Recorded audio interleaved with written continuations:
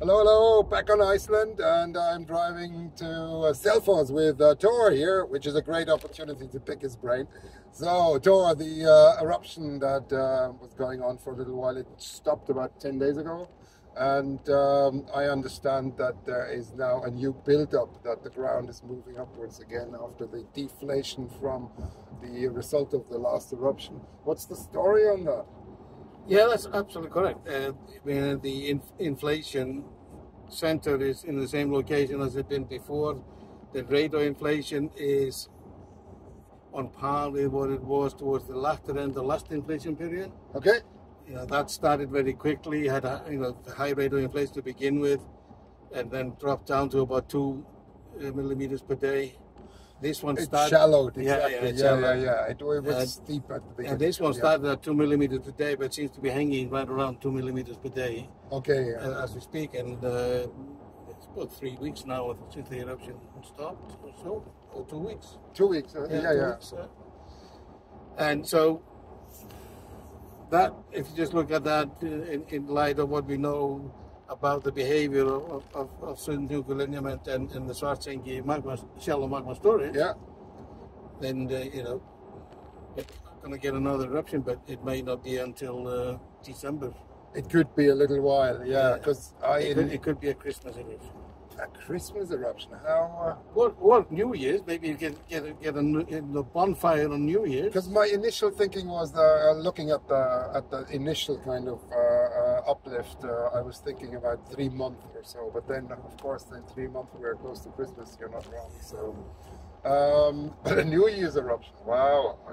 I think I'll get trouble at home if I come for the eruption at Christmas. so I hope it's not going a lot of people Christmas. could get in trouble if they if they- if they I, spend uh, Christmas watching an eruption. And uh, Icelandic winters are not the most fun thing anyway. So uh, well, they're but, okay uh, in the Reykjavik Peninsula. okay. It's Well, not- there's a lot of geothermal pools at least. Yeah, and there's not that much snow and. And, you know, and if you have an eruption to warm you up and light up the, the, the, the sky, then it could be actually quite nice. But joking aside, let's let's uh, let me ask a little bit about what you think is going on in the long term, because I mean, people have been talking about this new eruption period on the Reykjanes that could last for decades to centuries, and uh, that could be another major one that could actually activate the entire peninsula or the five or six systems there. What's your take on that? Because my secret hope is that after another one or two small eruptions, it might just calm down and uh, the eruption might just call it a day. But uh, uh, what's what's your take on that? Well, this we have to do in bits. Uh, the first one, if we think about the current fires, the Sundhnukur fire, Yeah, which is just the eruption that are taken place on the Sundhnukur uh, uh, volcanic lineament. hmm the inflation rate has been going down, but in you know all of 25 and even into 24, the decrease of, of, of inflation has been very small. So, it, it- but it is going down. I mean, it might be going down a fraction of a millimeter on average between periods. but Mhm. It is going down. If it keeps doing that, in the end, you know, you, you're gonna get to uh, uh, inflow rates that are not sustainable in, in, in the sense of keeping that the conduit open, which is feeding magma from the deeper I magma see, storage to the shallow magma storage. And when that, that day comes, then Sundhnukur fire is going to be over. Hmm. It, I mean, I was hoping that it would be over by now. I was sort of anticipating that at the rate which was 24, that it would be over by summer 25.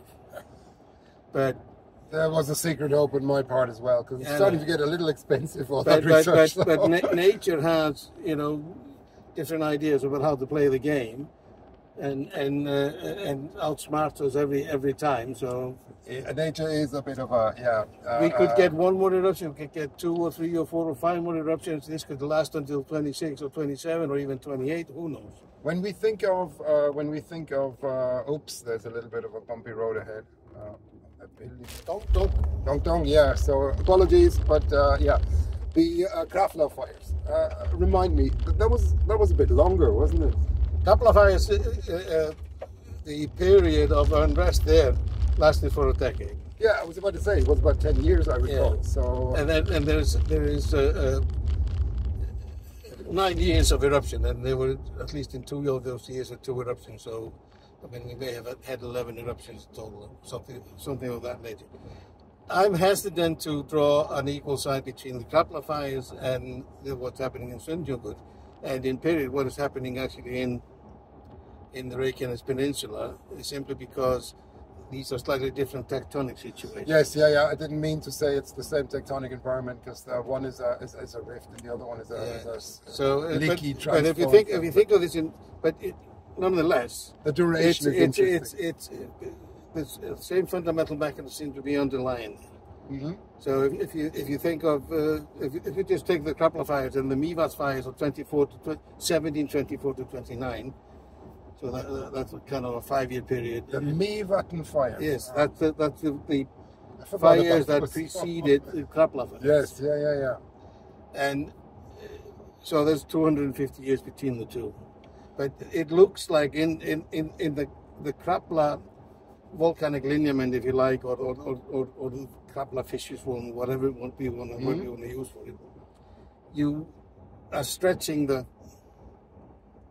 the crust right, for a fairly long period of time, and something happens that triggers a, a release of that stress, and mm-hmm. and basically, you know, you, you it's just like stretching a duct tape, and then you know you stretch it so much that you just touch it lightly, it snaps.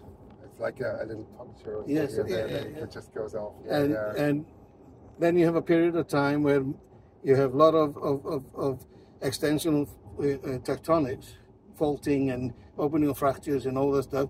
And because the magma is in there, the magma is accumulated at depth, it also comes up in the same time. Right. And you have series of eruptions. So this is what we call fires. And in case of the Krafla fire, it lasted for a decade. In case of the Mývatn fires, it lasted for five years, five to six years. It, doing exactly the same thing in the Reykjanes Peninsula. You're stretching the plate boundary. Yes. But it's an oblique set, setting. Correct. That's the so it's, it's, what they call transtensional. Mm-hmm. So you, you, you're stretching it not just in opposite direction, you but sideways. Slipping, yes. Yeah, so you're slipping. Slipping and opening. Yes. So... And this is why, the you know, I, I think when you have eruption periods in, in, in Reykjanes Peninsula, now realize that both are exposed to the same spreading rate in the distant, in you know, in the far distance. Mm -hmm. But in Reykjanes Peninsula, you, you take it take longer time to build up to the time of snapping. But when it snaps, it also you get a, an extended period of volcanism. Mm. So eruption periods in Reykjanes Peninsula are three to four hundred years long, and you get activated several linear volcanic lineament during that period of time and it, based on what we know now, it looks like you actually activate individual lineaments maybe for, you know, a few years, few years maybe to a maximum of, of, of, of 10 years. And, and so now I, I, I, start to, to see that element as well, that, uh, that this graph, I have this graph in mind, was Sæmundsson or so, the, the, the, the these, the, um, these episodes. Yes. Yes. And uh, I'm starting to think that, you know, on the graph, it's big blocks of color. And uh, it, it's, it's obviously not uh, allowing us the resolution to look into individual events there. And maybe it is actually fires, but many of them at different places. But they don't have to be simultaneously because on the graph it implies that they're all going off at the same time because the blocks are drawn in this way. Yeah, no, so, no, they, they don't go the same. What basically what they just represent, you know, the period of er eruptions when, when you had eruption on particular volcanic lineament, but you could only have had like two, in one in the beginning and one at the yes, end. Or exactly, even, exactly. That's it. You, so you, it's not you, as bad as the graph makes it look like. No. one can perceive it this way, or one can perceive it in a, in a more gloomy way. Uh, so, then it so would the, be a serious yeah, thing. So the future is, Sundhnukur will end at some point, and, and uh, it might be a couple of years from now, it could be tomorrow. But when it ends, and then we may have a pause for 50, 60 years. Yes, exactly. And that and then, makes sense. And then we might get activity on another volcanic lineament, mm -hmm. maybe, maybe the Krýsuvík lineament. But we can also have activity on there in, in two or three years' time, or even next year. So I mean, it, it, this these are things we just don't know. We don't know how you know heterogeneous crust like we have in the Reykjanes Peninsula, which is you know multiple fractures and and and experience multiple episodes of both volcanic activity and tectonic activity. How they respond to you know Straight here, yeah, yeah Yeah, straight here. Okay. slightly different, uh, uh, you know, stress regime. Every you know, I see. I see. I see. so I mean, we are learning. I mean, that's the whole thing. Is that we are. We are. we, we may know fair, that yes. we may- we may know the crude, we may know the crude pattern. Mhm. We may know, so you know, the sort of uh, the the sketch of the history, Mhm. but we don't know the details. And that's we- what I'm and- figuring. Yes. Yes. The but what's happening now in the Reykjanes Peninsula is, of course, adding in details about what's going on and what you know went on in the past. But it is at best just one chapter. I Or see. maybe Yeah, 10. Yeah, yeah, yeah, exactly. So, and uh, the other thing is that I, I hear that the uh, Krýsuvík um, uh, geothermal area has been increasing over the last few years. It's it's widened apparently, so there is higher heat flow Yes. and. uh, seismic activity currently is increasing on, on the Krýsuvík lineament. And just this morning, they had an earthquake on the Krýsuvík lineament within the greater Reykjavik area. Just just uh, outside of, that? just outside of. Three, I think it was th- th- magnitude three earthquake.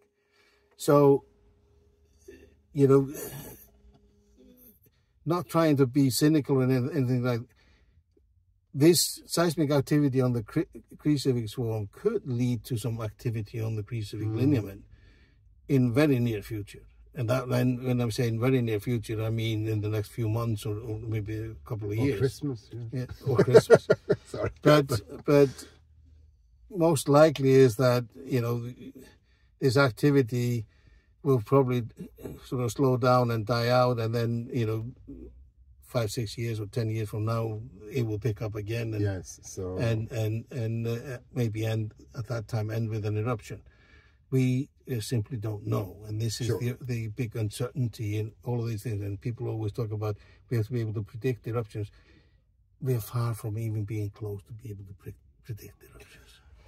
we have probabilities and we have scenarios that we can assign probabilities to, but being absolutely certain about things is is, is well, that's maybe Well, something. a prediction to me years, is that so- you you you can look at a set of data and say, okay, we're going to have an eruption in in on sixth of June, twenty exactly that's a prediction. So and, and, and, uh, and then and then you know we're going to have another one on on seventh of July in in in, in and twenty I don't think we're there. No, we're not. No, we're not. But when we have the signals and we're getting very close to eruption, yeah, then we can say like we- there's going to be an eruption within half an hour. within yes, exactly. Yeah. Once it rises up, that's easy. But uh, I mean, that's not that's that's, That's not the challenge. That's not the prediction. Exactly. That- that- that's really a deduction from observation. yeah, that's just an observation that that uh, you you draw a line and you extrapolate, and th- this is easy in, in terms of uh, making sense But of this. But to uh, give us all hope, it took the meteorologist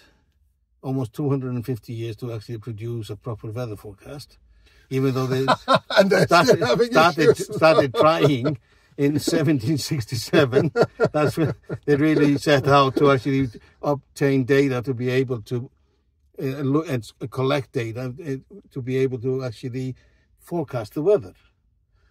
And we all know that you know, when we were growing up, the- the forecasts weren't that great. It's not until we got you know good satellite coverage and yeah, yeah. and and we could really look at all these things, and then we can start predict, making some reasonable predictions.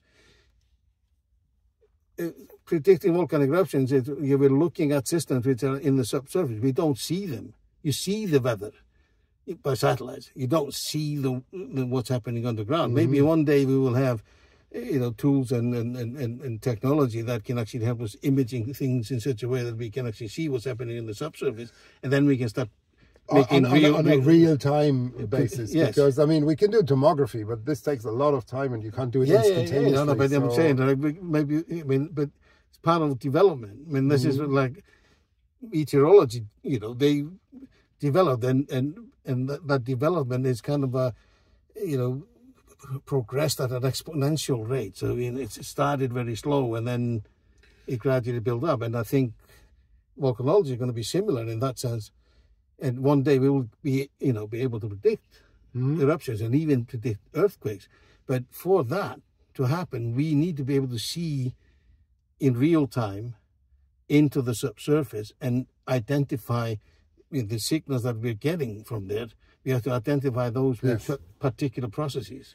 That's right. We need to be sure what the signals mean. I mean, a tremor can be all sorts of things, and uh, this is where we're not clear. we can't even agree on what what would generate tremor. That's what I'm saying. I mean, be a, a lot of things, people have so- some consensus. They're like it's it's you know some vibration in in the in, in the in the conduit. But is it because you are forming bubbles, or is it because the bubbles are bursting, or is That's it right. is it because it's flowing so fast? Mm. So tricky, tricky things. Yeah. So anyway, we better wrap up because we have arrived in Selfoss already. And uh, thank you, Thor, for your explanations. And uh, I hope that you found that useful.